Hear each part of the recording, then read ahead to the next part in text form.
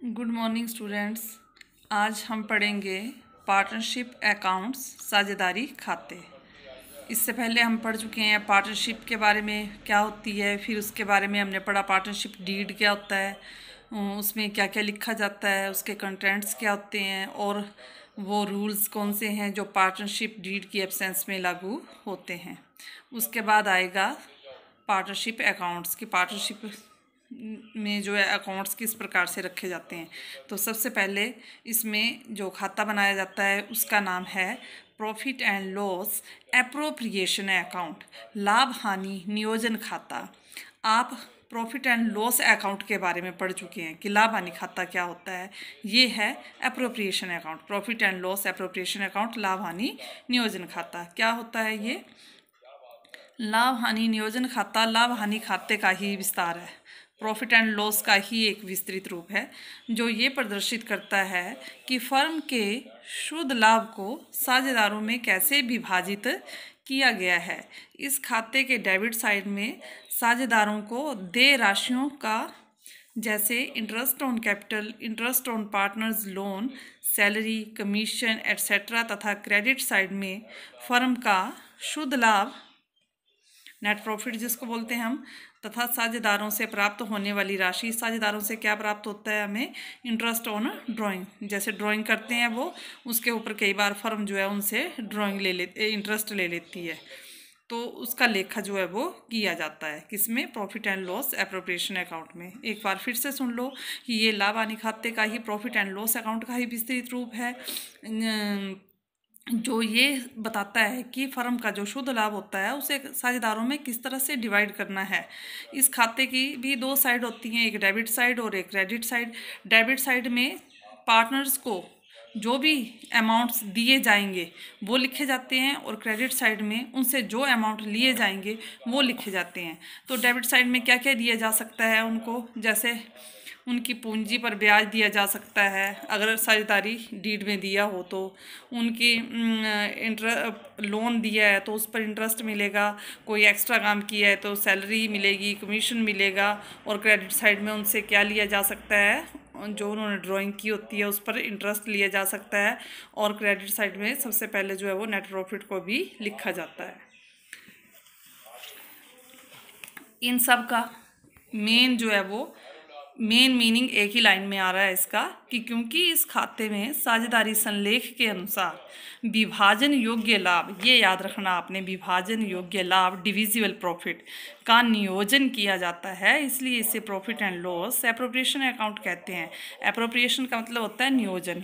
तो किस चीज़ का नियोजन करना इसमें? विभाजन योग्य लाभ। जो प्रॉफिट एंड लॉस अकाउंट होता है ना, वो ये बताता है कि फर्म को नेट प्रॉफिट हुआ है या नेट लॉस लेकिन profit and loss appropriation account में ये बताया जाता है कि वहाँ पर जो नेट प्रॉफिट हुआ है, उसे किस तरह से साझेदारों में बांटा जाएगा, उसका नियोजन, उसकी प्लानिंग जो है वो की जाती है, इसलिए इसको profit and loss appropriation account कहते हैं। ये आगे बेटा मैंने इसका प्रोफॉर्मा बनाया है, आप देख सकते हैं, इससे आपको जल्दी याद हो जाएगा। ये वाला मीनिंग आपको इससे याद हो जाएगा। Profit and loss appropriation account इसकी ये डेबिट साइड और ये इसकी क्रेडिट साइड डेबिट साइड में क्या क्या आता है, जो पार्टनर्स को दिया जाएगा, जितने भी साझेदार होंगे फर्म को, सारी दिए जाने वाले अमाउंट डेबिट साइड में और उनसे जितने भी अमाउंट लिए जाएँगे, वो सारे क्रेडिट साइड जैसे मैंने कि यहाँ भी मेंशन किया है, वो सारी चीज़ें यहाँ पे हैं।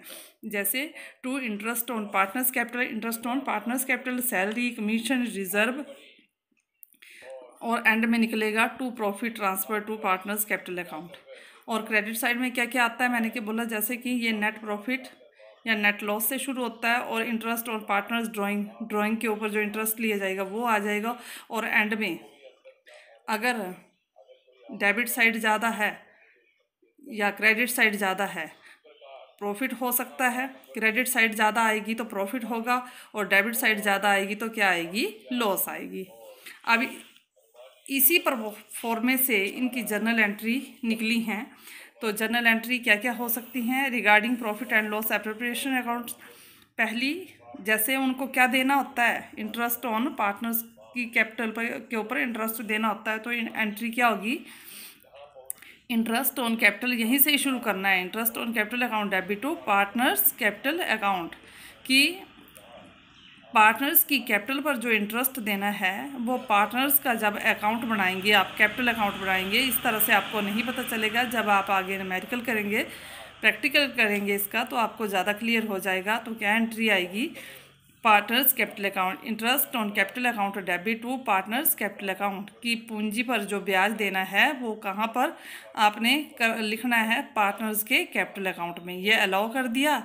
अब इसको ट्रांसफ़र कर देना किसमें ये जो हम बना रहे हैं खाता profit and loss appropriation account तो आपने करना है इसको profit and loss appropriation account debit to partners capital account और नरेशन आ जाएगी इसकी for interest on capital transfer to profit and loss appropriation account कहने का मतलब है, जो भी एक एंट्री होगी, उसकी दो दो एंट्री आएँगी। पहले उसको देंगे अलो करेंगे वो चीज़ ड्यू करेंगे, उसके बाद उसको profit and loss appropriation account में ट्रांसफ़र कर देंगे। Interest on capital account AB to partners capital account और दूसरी एंट्री होगी इसको ट्रांसफ़र करने पर profit and loss appropriation account AB to partners capital account second entry होगी बेटा फॉर सैलरी या कमीशन जो है पेबल टू पार्टनर अगर कोई साझेदारी को साझेदारी में अगर किसी पार्टनर को सैलरी या कमीशन दिया जाता है तो एंट्री क्या होगी? पार्टनर्स सैलरी और commission account, debit to partners capital account, ये सारा कुछ भी कहाँ लिखा जाएगा? पार्टनर्स के कैपिटल अकाउंट में, फिर इसको ट्रांसफ़र कर दिया जाएगा कहाँ पर? Profit and loss appropriation account में। ये ड्यू हो गया, मैंने कहा ना दो दो एंट्रीज आएँगी, ये ड्यू हो गया, अब इसको ट्रांसफ़र कर देंगे तो एंट्री आएगी। Profit and loss appropriation account, debit to partners salary और कमीशन अकाउंट। थर्ड, अब फॉर इंटरेस्ट ऑन ड्राइंग अब ये उनसे लेना है। आहरण पर ब्याज के लिए क्या एंट्री होगी? पार्टनर्स कैपिटल अकाउंट ये रिवर्स एंट्री आ जाएगी। अभी तक आपने partners capital account partners capital account को नी, नीचे वाली साइड पढ़ा है। अब ये ऊपर वाली साइड आ गया क्योंकि वो दी जाने वाली राशियाँ ये ली जाने वाली राशि है तो इसमें क्या आएगा?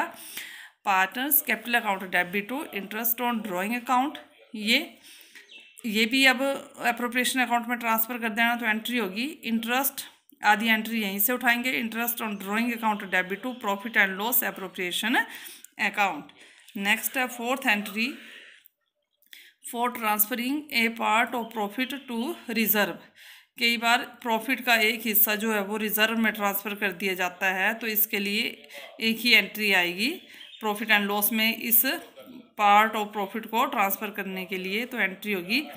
Profit and loss appropriation account debit to reserve account for part of profit transfer to reserve part of profit transfer to reserve account next entry last में हम ये सारे जो हमने निकाले हैं, वो परफॉर्मे से ही है कि इंटरेस्ट ऑन कैपिटल दिया जाता है सैलरी दी जाती है कमीशन दिया जाता है रिज़र्व वाली एंट्री होगी, फिर इंटरेस्ट और पार्टनर्स ड्राइंग वाली एंट्री कर ली। अब लास्ट में प्रॉफिट निकलेगा या लॉस निकलेगा? क्रेडिट साइड ज़्यादा आएगी तो प्रॉफिट होगा और डेबिट साइड ज़्यादा आएगी तो लॉस होगी।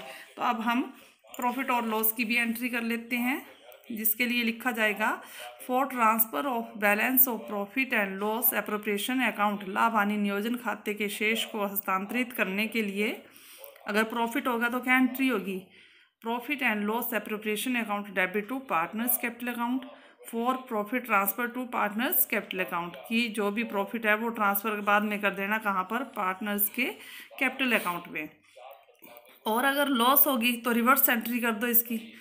Partners capital account debit to profit and loss appropriation account for loss transfer to partners capital account ये पाँच एंट्री थी जो आपने किस तरह से याद करनी है, इसका परफॉर्मा आपने याद रखना है।